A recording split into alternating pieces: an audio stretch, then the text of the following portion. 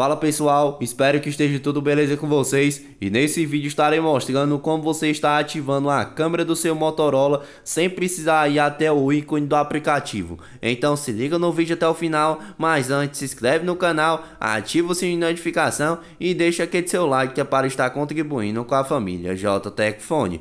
Bom, vou estar vendo as configurações aqui do meu dispositivo, logo após isso vou vir até a opção que vai ter sistema e dentro de sistema procuro pela opção de gestos e logo em seguida vou procurar pela opção de câmera instantânea.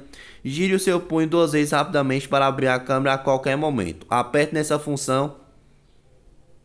Logo em seguida vou estar ativando essa função que está desativada aqui dentro das configurações do meu celular. E a partir desse momento, todas as vezes que eu for utilizar a câmera do seu, meu celular, eu não preciso mais ir até o aplicativo para estar abrindo, só apenas de duas vezes meu celular e já vai estar ativada essa função aqui dentro do meu celular Motorola, do meu Moto G30. Então é uma configuração muito simples. Você está utilizando sem dificuldade alguma. E no mais espero ter ajudado vocês com mais essa dica aqui dentro do canal. E até a próxima família JTech Fone.